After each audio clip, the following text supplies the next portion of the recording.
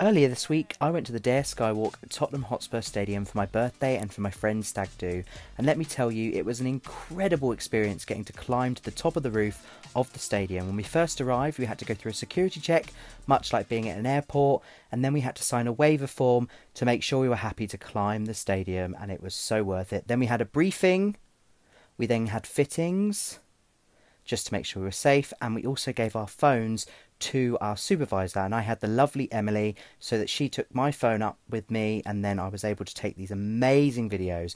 You could see the Shard, you could see Stratford, you could even see Ali Pally in the distance. It was absolutely amazing. We also were able to touch the golden cockerel and jump from the top of this roof, which you'll see in another video which I'm about to post. So be sure to come back and like and follow if you enjoyed watching this video. Unforgettable experience. Had the best time. Thanks, Emily. It was incredible.